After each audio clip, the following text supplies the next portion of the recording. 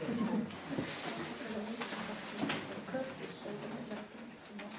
ce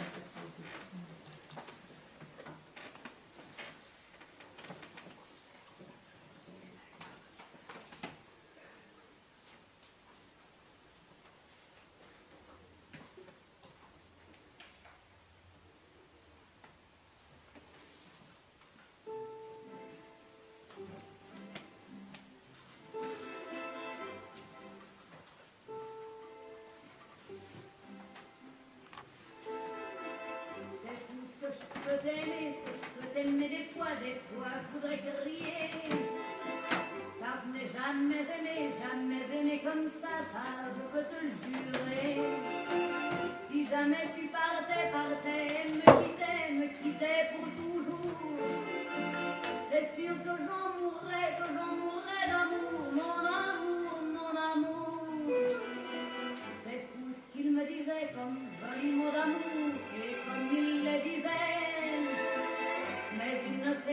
tué car malgré son amour, c'est lui qui m'a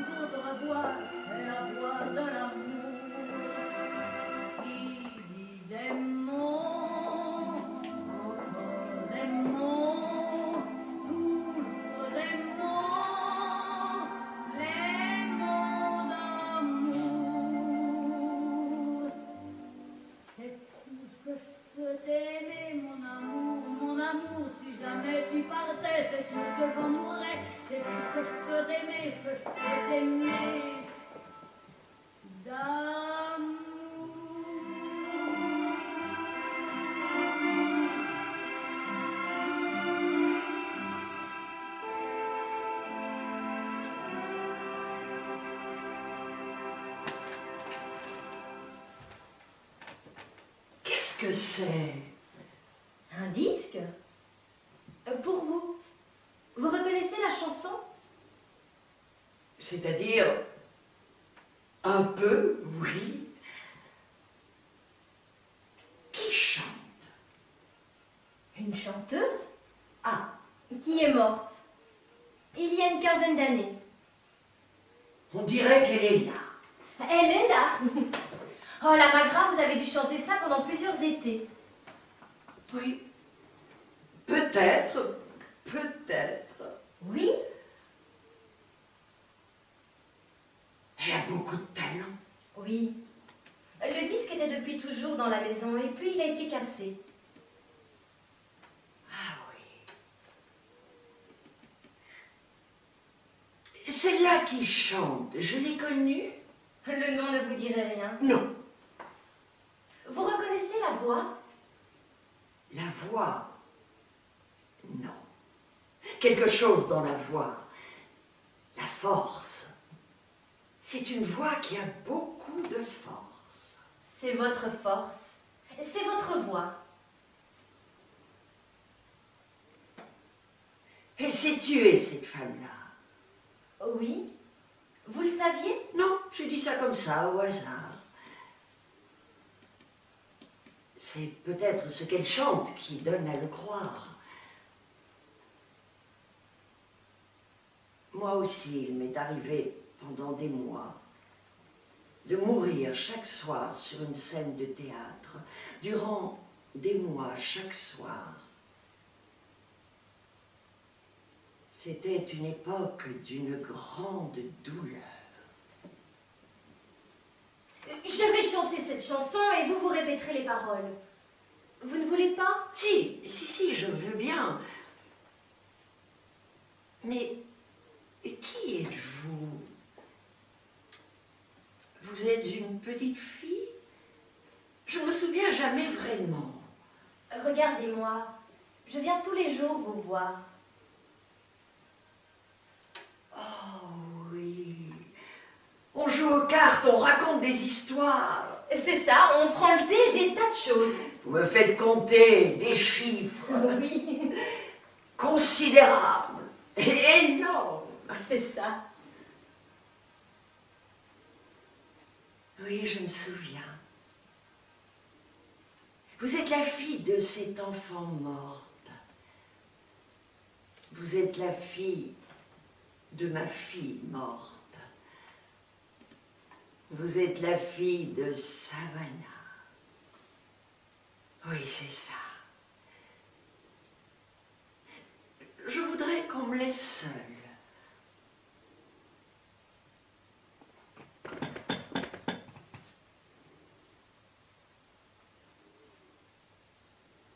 C'est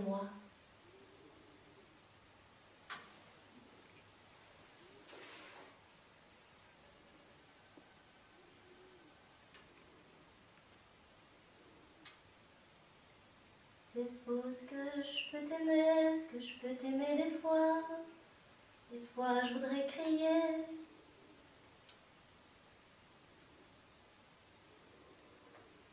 C'est fou peux t'aimer, ce que je peux t'aimer des fois. Des fois je voudrais crier. Car je n'ai jamais aimé, jamais aimé comme ça, ça. Je peux te le jurer. Car je n'ai jamais aimé, jamais aimé comme ça. Ça je peux te le jurer. Si jamais tu partais, partais et me quittais, je crois que j'en mourrais, que j'en mourrais d'amour. Mon amour, mon amour. Non, Si jamais tu partais, partais et me quittais, si jamais tu partais, partais, me quittais. oui, je crois que j'en mourrais, que j'en mourrais d'amour. Mon amour, mon amour. Je crois que j'en mourrais, que j'en mourrais d'amour. Mon amour, mon amour. Oui, c'est fou ce que je peux t'aimer, la la la la la la. Mon amour, mon amour. C'est vous que j'aime le plus au monde. Plus que tout. Plus que tout ce que j'ai lu, plus que tout ce que j'ai vu. Plus que tout ce que j'ai, plus que tout. Moi Oui, Pourquoi me dire ça aujourd'hui qu'est-ce qu'il y a aujourd'hui J'avais décidé de demander qu'on vienne me voir un peu moins souvent. Enfin, un peu moins. Je voudrais être seule ici. Que personne ne vienne plus. Oui, Mais toi, que deviendrais-tu sans moi, mon enfant? Ma beauté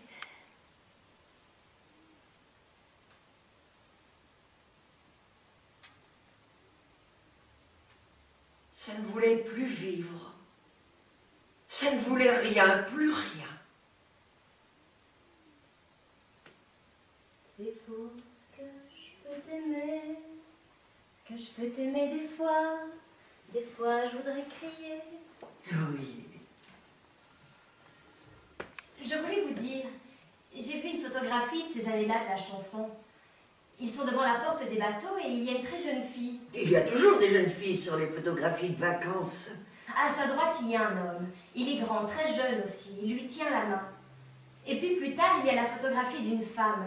Et elle a les mains sur le visage, elle pleure. C'est une scène de théâtre. C'est moi? Au théâtre, c'est moi. Et quelquefois, je ne reconnais plus votre voix. Ça arrive, je l'entends.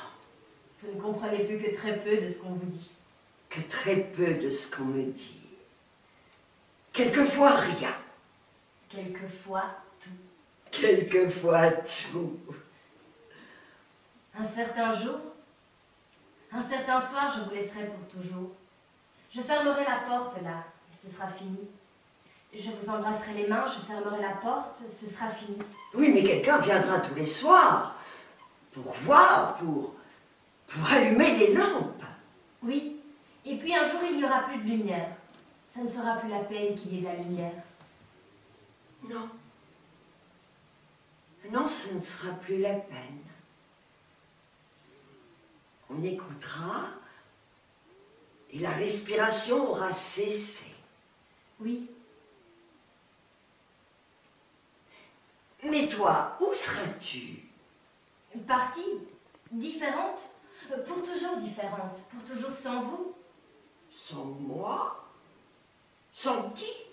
Vous, sans vous? La mort arrivera du dehors de moi. De très loin, vous ne saurez pas quand. Non, je ne saurais pas. Elle est partie depuis le commencement du monde en prévision de vous seul. Inscrite dès avant la naissance. Quel honneur Dès avant la naissance. Oui, Pour en arriver là. Mais toi, comment sais-tu toutes ces choses? Je vous vois. Vous pensez tout le temps, tout le temps à une seule chose. Oui. À quoi vous pouvez le dire une fois Va-t'en y voir toi-même pour savoir à quoi je pense.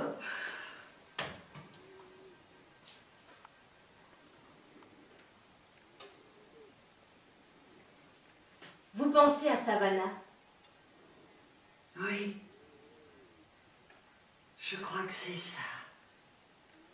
Savannah arrive à la vitesse de la lumière. Elle disparaît à la vitesse de la lumière. Les mots n'ont plus le temps. Les mots n'ont plus le Et à n'importe quel moment, impossible de le prévoir. Impossible. Autant prévoir le bonheur. Regardez, c'est le costume que vous portiez. Euh, Vous savez, dans ce film, le voyage au Siam. Oh oui Ça vous va très bien.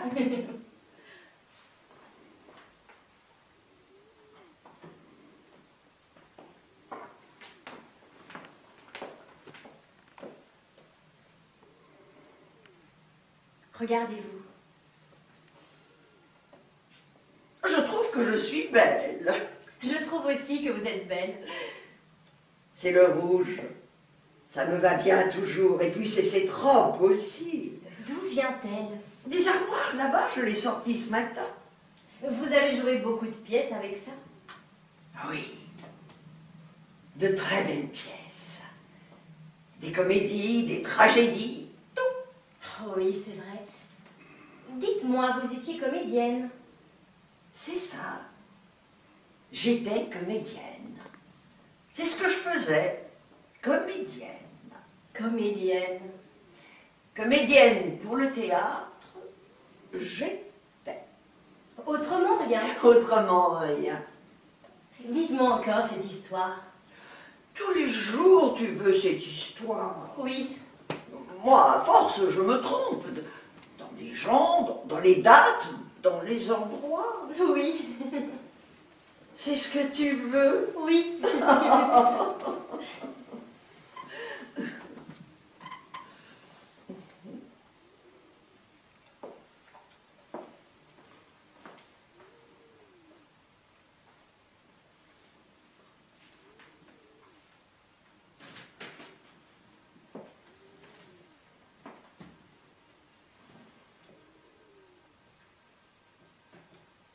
C'était une grande pierre blanche au milieu de la mer.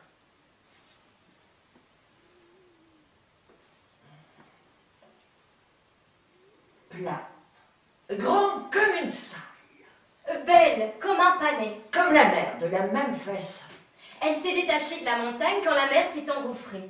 Elle est restée là, trop lourde pour être emportée par les eaux, De la mer, elle a le grain, le grain de l'eau. du vent. Elle a la forme brutale.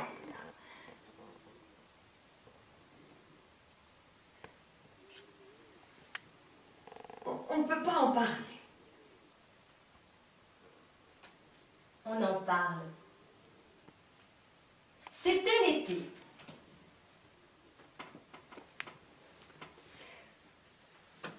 C'était l'été, au bord de la mer. Vous n'êtes plus sûr de rien. Je ne suis sûre que de presque rien. Mais de la pierre blanche, ça je suis sûre. On devait nager pour l'atteindre. Elle était tombée dans la mer. C'est à cet endroit qu'ils se sont rencontrés de la grande pierre plate au milieu de la mer. Presque à fleur d'eau. La pierre, quand les bateaux passaient, la houle la recouvrait d'eau fraîche. Et puis le soleil revenait et la rendait infernale, de nouveau brûlante. C'était l'été. C'était les vacances scolaires. Elle était très jeune, à peine sortie du collège. Elle nageait loin. Par moments, on pouvait croire, pendant une minute, qu'elle ne reviendrait pas. Et puis, elle revenait. Longtemps, longtemps, elle était revenue. Il s'était connu là. C'est là qu'il l'avait vue, allongée sur la pierre souriante, régulièrement recouverte par les eaux de la houle. Elle avait pris le raccourci le long des étangs. Lui, il était venu par le chemin le long du fleuve. C'était. C'était. vers midi. C'était des jours très chauds, vous avez oublié? Non, non, je me souviens des jours très chauds. Très, très chauds, les plus chauds de l'été. Et Dès l'embouchure du fleuve, en découvrant la mer à l'endroit de la pierre, il l'avait vue. Il l'avait vue sur le blanc de la pierre, cette petite forme cernée de noir. Puis il l'a vue se jeter dans la mer, s'éloigner. Elle a troué la mer avec son corps. Elle a disparu dans le trou d'eau. Et puis, l'eau s'est refermée. On ne voit plus rien à la surface de la mer. Alors il crie. Et tout à coup, il se dresse sur la pierre et il crie. Il crie qu'il veut revoir cette jeune fille en maillot noir. Elle, à ce cri, elle revient. Elle revient avec une certaine peine, trop légère qu'elle est pour l'eau lourde et dense. Mon enfant, C'est quand il l'a vue revenir. Il a souri, ce sourire. ce sourire, oh ce sourire, à ne pas regarder. Il pouvait faire croire, pendant un moment très court, qu'on pouvait mourir d'aimer. Je crois, je crois que c'est à Montpellier, 1930-1935, au théâtre de la ville. Un auteur inconnu, un, Français, je crois. Pendant toutes ces années, et les années qui ont suivi, tous les soirs, je me retrouvais sur une scène de théâtre, partout, dans le monde entier, partout. On pouvait croire que je jouais des choses différentes, mais à travers tout ce que je jouais, qu'on croyait que je jouais, je jouais l'histoire de la pierre blanche.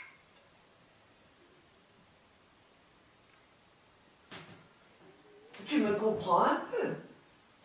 Oui. Vous faites exprès cette comédie? Oui, Vous mentez? Non. Vous ne mentez pas. non, Elle était là où vous étiez. elle était là où j'étais. Oui, Elle était là aussi avant de naître Avant de naître, elle était là aussi. Oui, Oui. Dans les théâtres, aussi enfermée avec vous, partout dans le monde. partout. Et puis il y a eu ce jour d'été.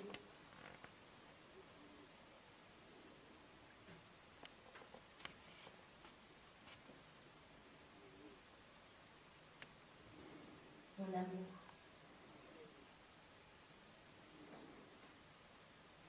Ah.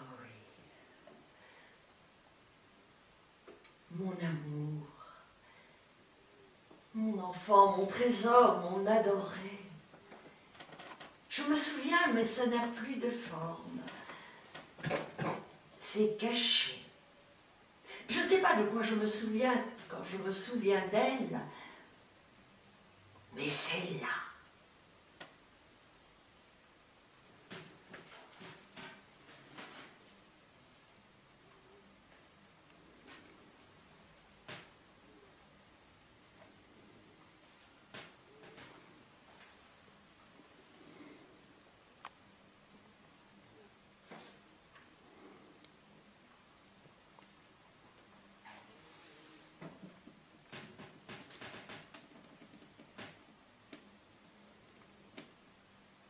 Je ne vous laisserai jamais.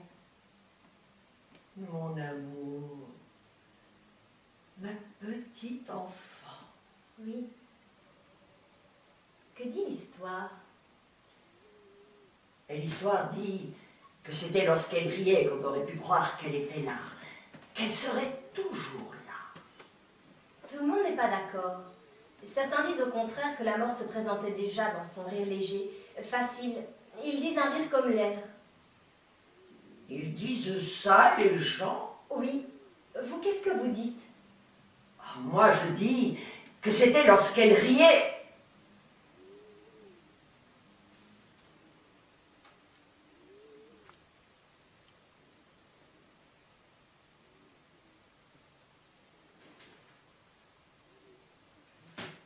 Elle était en maillot noir,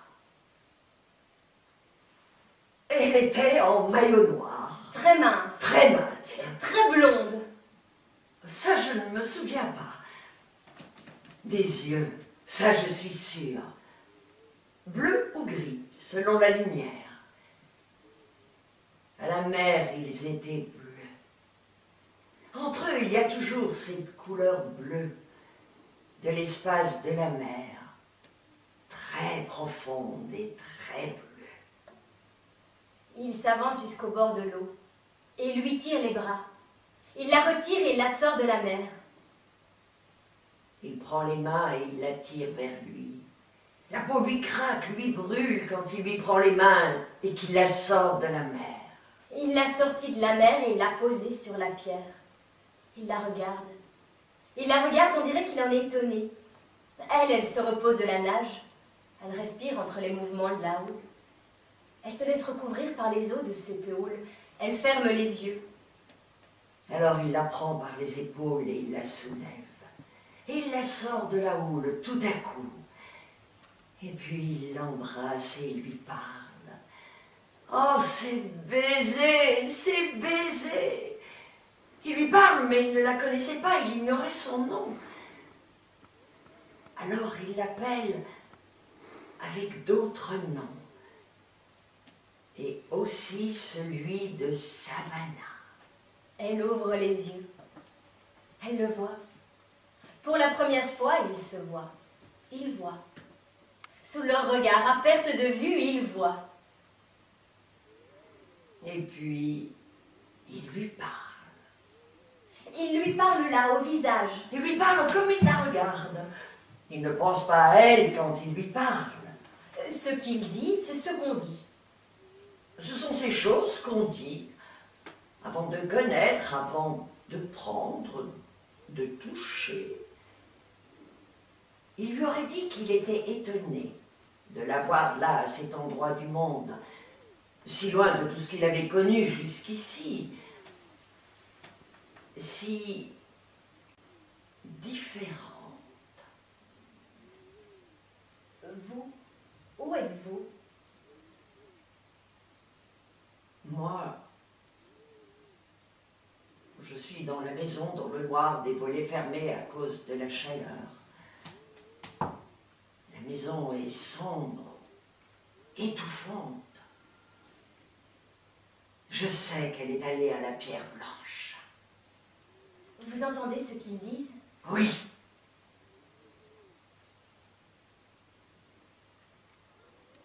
Le vent. Le vent porte les voix. Le vent du fleuve porte les voix. Il prend sa tête entre ses mains et la pose dans ses bras à l'envers du soleil. Il lui parle. Il dit Vous n'êtes pas trop fatigué Vous nagez si loin, comment avez-vous la force? Faites attention au soleil. Ici il est terrible, vous n'avez pas l'air de le savoir. Alors elle lui dit J'ai l'habitude de la mer. Elle dit que non. Il dit que non. Que ce n'est jamais possible, jamais. Elle dit c'est vrai, jamais. Il dit Je ne sais pas vous regarder.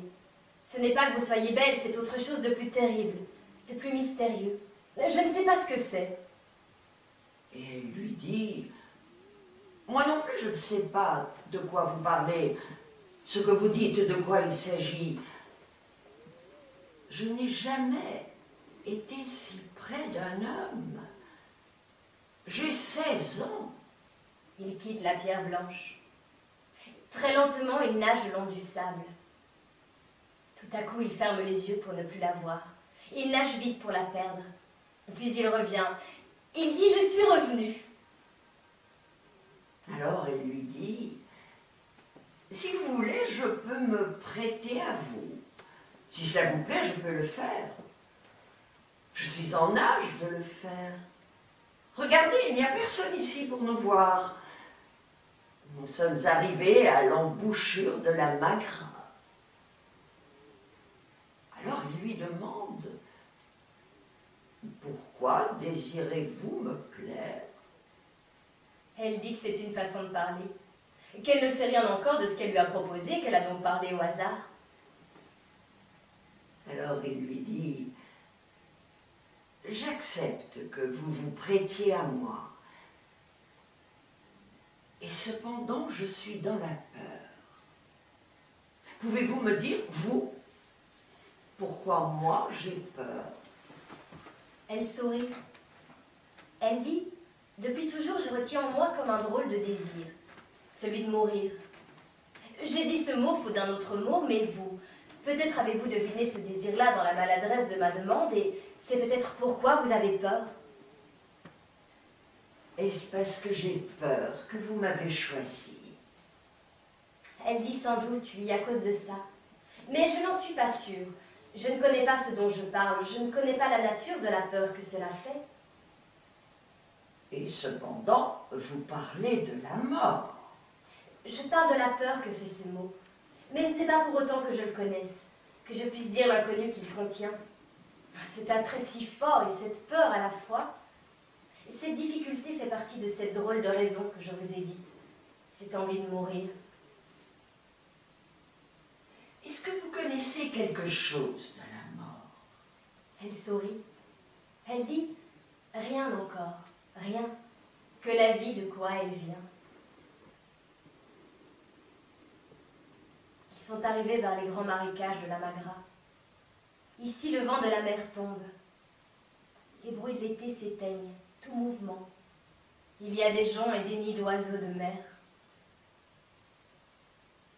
Elle dit C'est là que j'ai toujours voulu venir.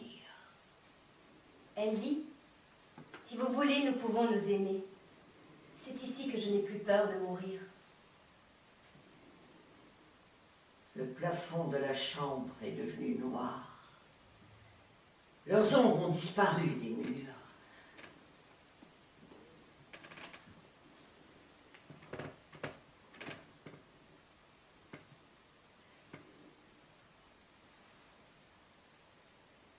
Je perds la mémoire.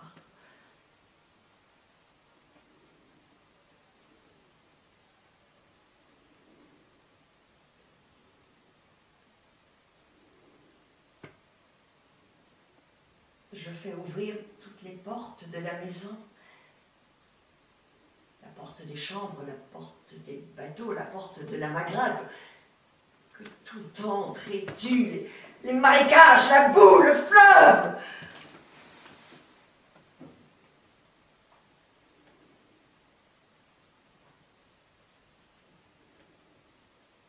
C'était un amour si fort.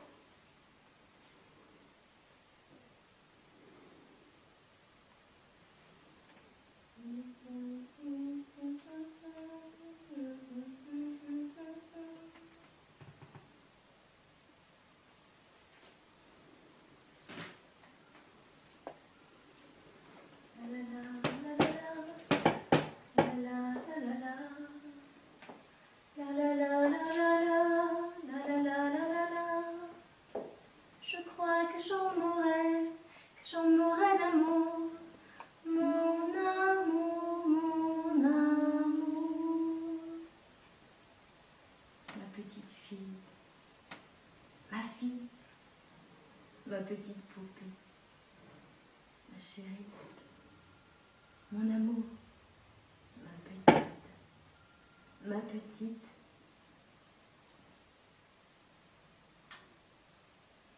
Ma petite, ma petite, mon amour, mon adoré. C'était des jours très clairs, très chauds, très très chauds plein d'essivants, plein de lumière, plein de cris, plein de bateaux, plein de barques, plein de joie. C'était plein de rire, de chants, de la mer, du bleu. De l'ombre fraîche, plein, du soleil, du blanc de la pierre. D'elle. Du blanc de la pierre et d'elle sur ce blanc. Elle rit, elle crie que sa peau lui brûle, qu'elle se brûle à sa peau à lui, et lui qui lui tire les bras une anguille. Et elle qui cède et qui pose son corps son cœur et toute sa peau sur cette pierre chaude. Et lui qui lui enlève son maillot noir. Elle est nue, toute nue. Il l'embrasse partout sur le corps, sur le ventre, sur le cœur, sur les yeux. Quelqu'un pleure de bonheur à les voir. Quelqu'un pleure de bonheur parce qu'ils vont mourir d'aimer.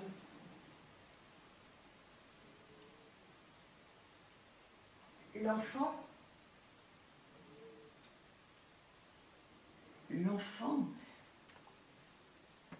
l'enfant a commencé à hurler avec le soir, tout entier qu'on était tourné vers la souffrance. On l'avait oublié. Une petite fille. Elle avait faim. C'était une petite fille. Elle avait faim.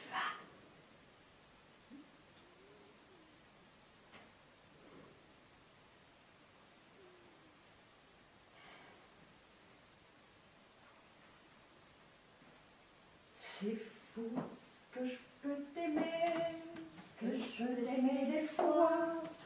Des fois je voudrais crier, car je n'ai jamais aimé, jamais aimé comme ça. Ça je peux te le jurer.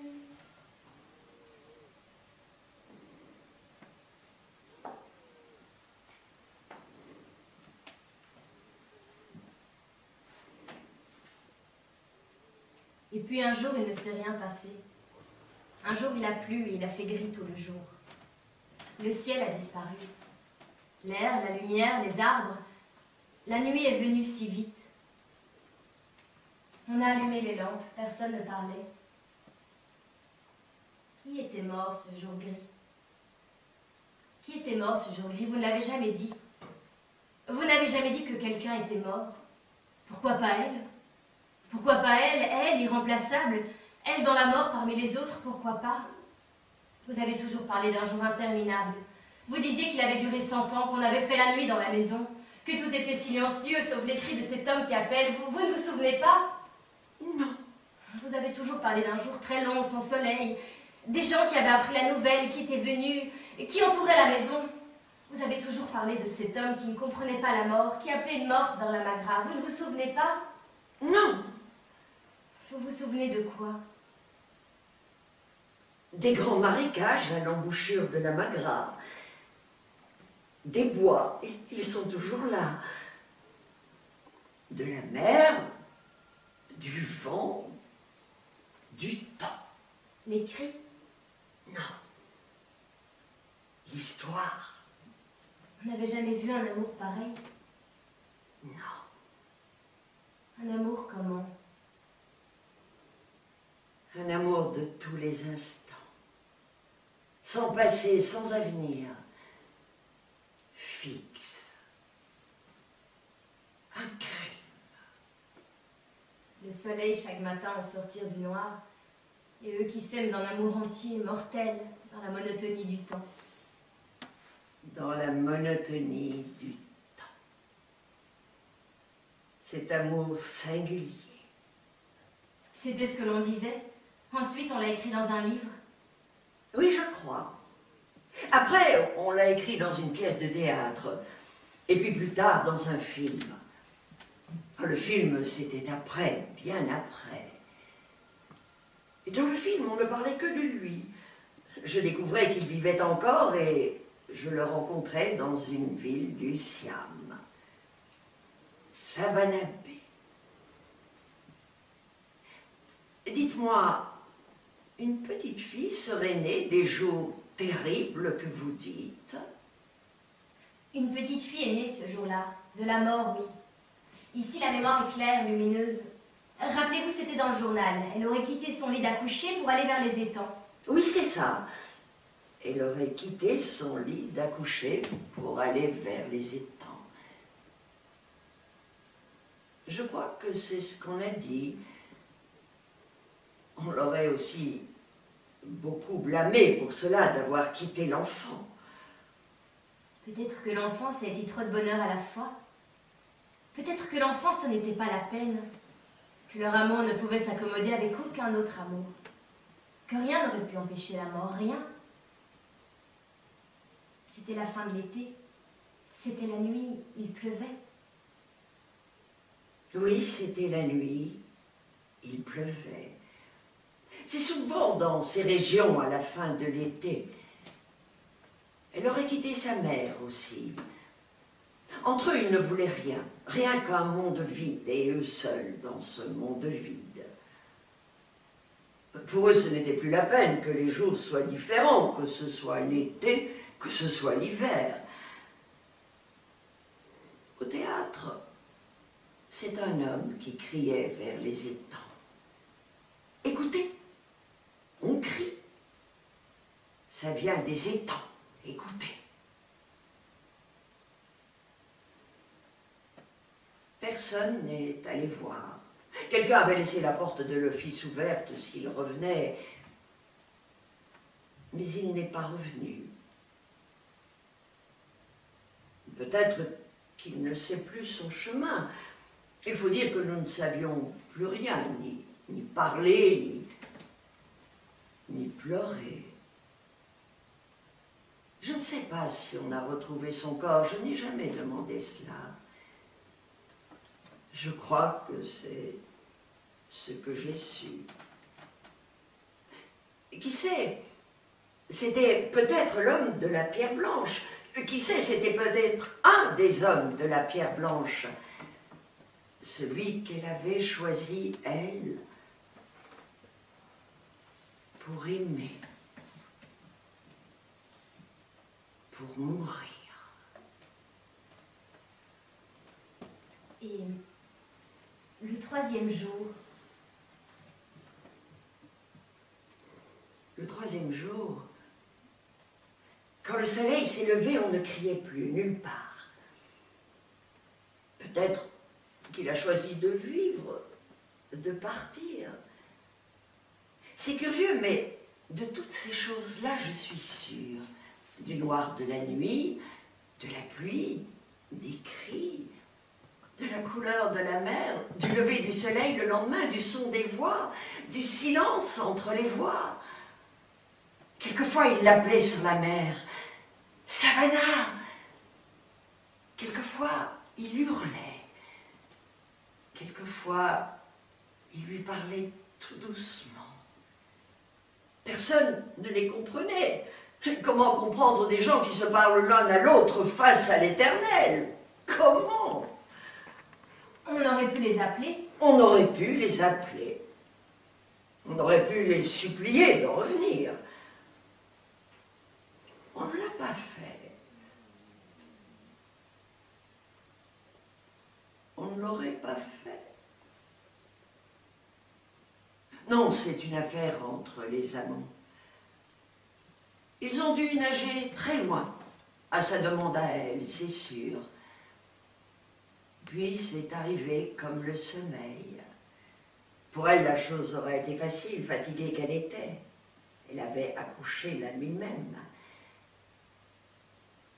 Pour lui, ça n'aura pas été possible. Il était dans toute sa force. Il n'a pas pu s'en défaire pour s'empêcher de nager. C'est ce que je crois avoir su. C'est ce qu'on a dit partout, c'est, c'est ce qu'on a écrit partout, c'est ce qu'on a joué partout.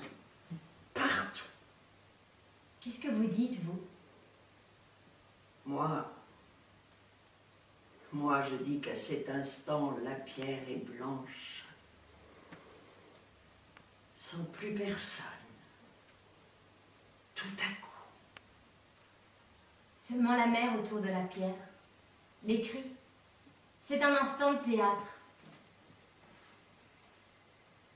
C'est un instant d'infinie douleur.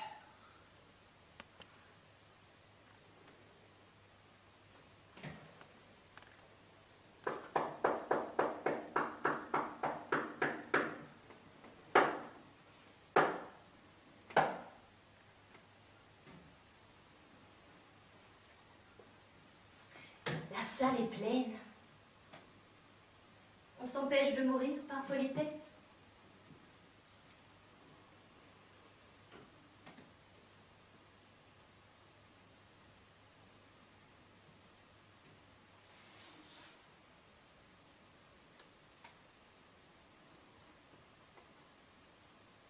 La salle attend. On lui doit le spectacle. Oh, la salle est noire. On lui raconte qui est mort, qui est resté en vie, qui a crié, quelle chaleur c'était, combien la pierre était blanche.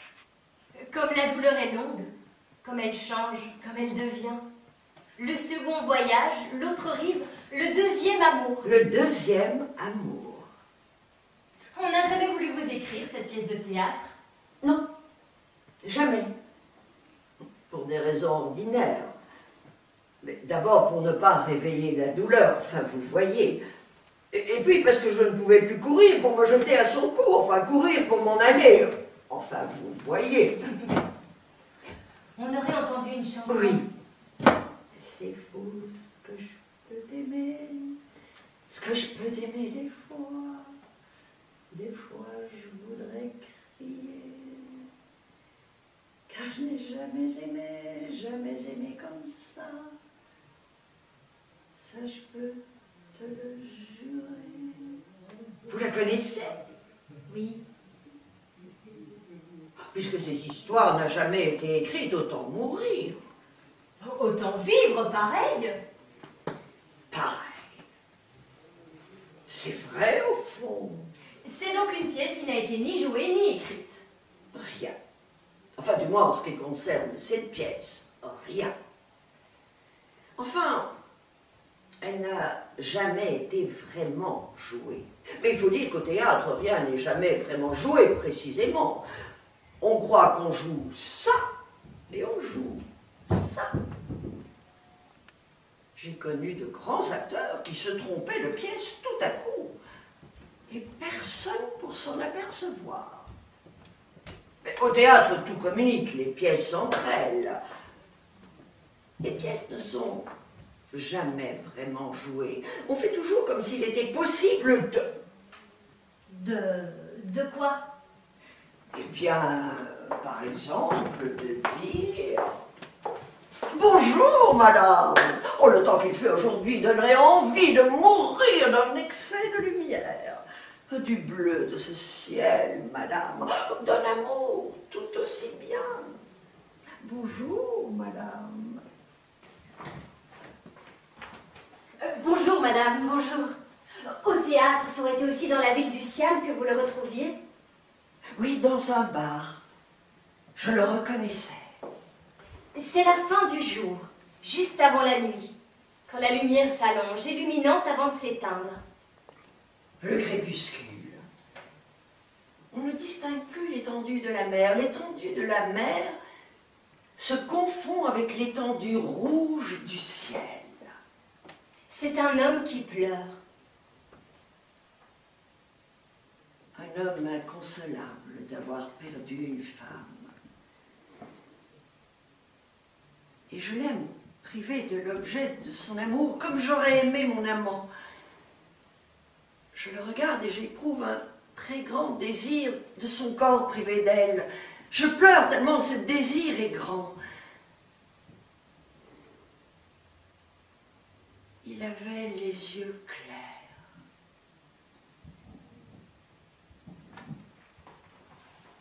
Bonjour, madame. Vous habitez le Siam? C'est-à-dire, monsieur, que quelquefois j'oublie, je ne me souviens pas, excusez-moi. Elle est ici pour un film, monsieur. Elle tourne un film à Savannah Bay avec Henri Fonda. Oui, c'est ça. Je suis ici pour tourner un film avec Henri Fonda à Savannah Bay. Le titre Le titre Savannah Bay. Ça arrive souvent des films ici, à cause de l'admirable lumière de Savannah Bay. Admirable Admirable Toujours égal, presque jamais de pluie, à peine quelques typhons vers les équinoxes, c'est tout. C'est tout. Un film d'amour, madame? Bien sûr, monsieur.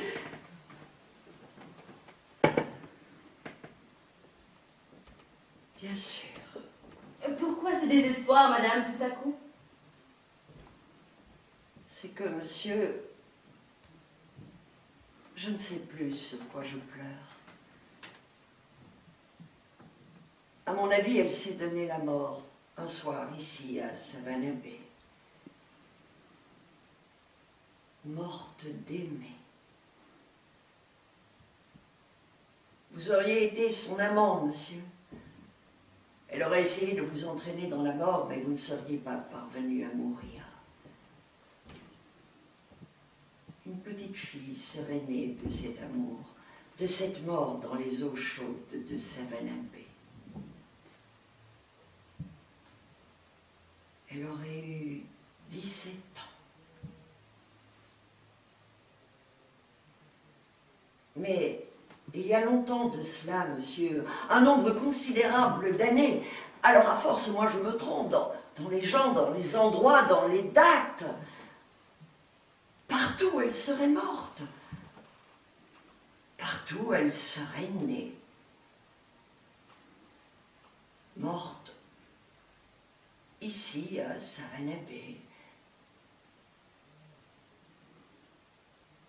Née là.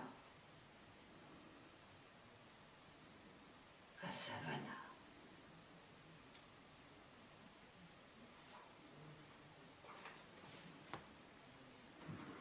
Il vous a dit que ce n'était pas lui qu'elle avait aimé.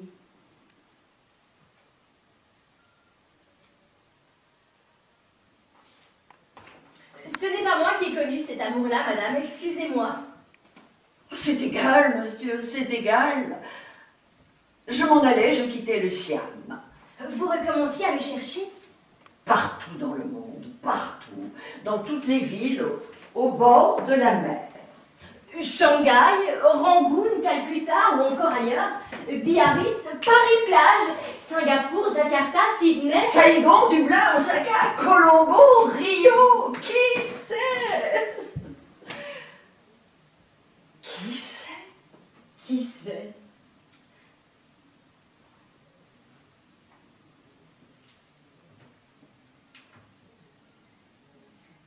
À l'enfant qui est né, on n'a pas donné de nom. Je vous l'ai dit Non. Elle Elle se serait nommée elle-même plus tard. C'est ça.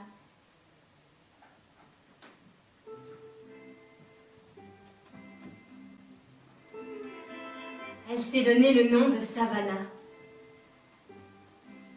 Celui du feu.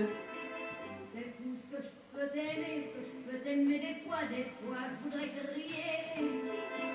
Car je n'ai Celui jamais de la aimé, mer. jamais aimé comme ça, ça je peux te le jurer. Si jamais tu partais, partais, me quittais, me quittais pour toujours.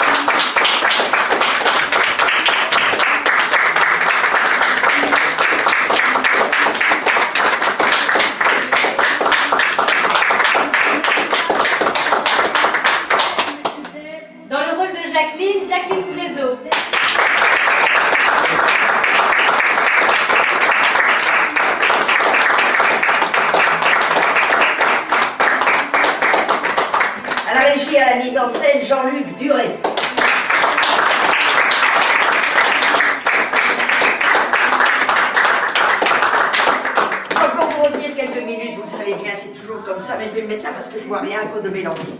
Alors voilà, les gens qui ont l'habitude de venir ici, euh, qui font partie du site Demander le programme, euh, eh bien oui, on propose toujours les éternels petits gâteaux, je crois que je connais, madame. Ah oui, les éternels petits gâteaux, ceux qui ne savent pas, je l'explique. Voilà, en fait, nous sommes un théâtre professionnel, nous fonctionnons depuis 15 ans sans subvention. C'est très dur sans subvention. Alors, comme on n'a pas de subvention, on n'a non plus pas de journalistes, parce que c'est comme ça. Les journalistes ne vont pas dans les théâtres qui ne sont pas subventionnés. Mais on s'en fiche complètement. On n'a rien de tout ça, mais on vous avoue. Et c'est ça qui compte. Alors, on vous présente ces petits gâteaux, et ma charmante et talentueuse partenaire va vous les présenter, vous donner absolument ce que vous voulez. 50 cents, madame, c'est très bien. Ça améliore un petit peu le cachet des comédiens. Et dans le foyer, il y a des petits objets qui ont été fabriqués par des élèves de l'atelier du théâtre. Et ces objets-là, nous les vendons au profit du théâtre. Et passez encore une excellente soirée.